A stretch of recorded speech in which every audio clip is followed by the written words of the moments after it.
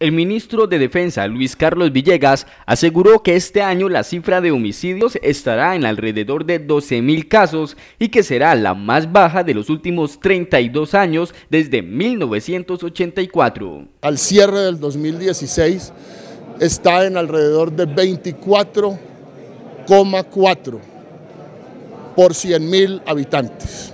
Esta es la tasa de homicidios más baja desde el año 74, es decir, hace 42 años.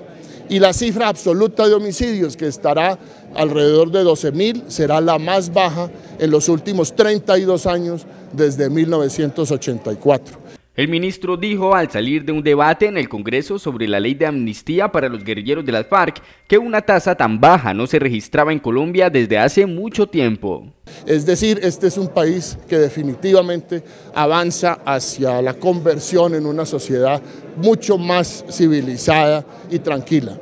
Eso muestra cada día más la necesidad de que seamos una sociedad más tolerante. Todavía hay 12 mil homicidios. Tenemos que bajar esa cifra en los próximos cinco años por debajo de 10 mil.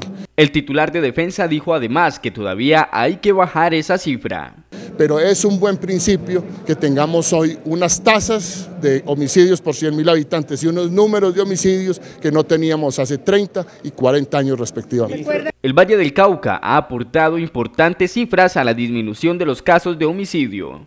La policía, el ejército, la Fuerza Aérea, la Armada, la Fiscalía que hemos trabajado en conjunto y hemos logrado disminuir al 20, el 20% de los homicidios en el departamento del Valle. Y le hemos aportado al país el 35% de la, de la disminución en muertes en nuestro país por homicidio.